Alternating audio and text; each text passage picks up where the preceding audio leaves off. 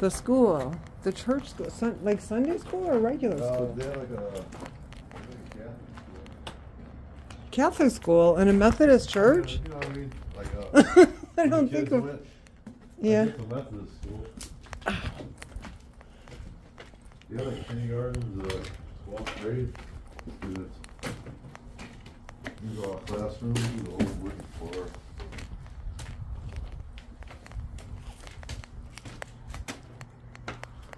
Methodist school. Yeah.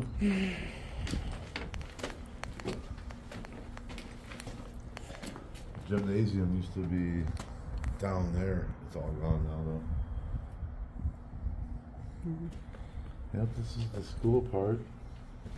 Classrooms. I'm not sure if that was one big room over there or the walls are just gone. Oh yeah, there was walls. There's one of them laying there. yeah, there's a wall right there. Not sure where that goes, but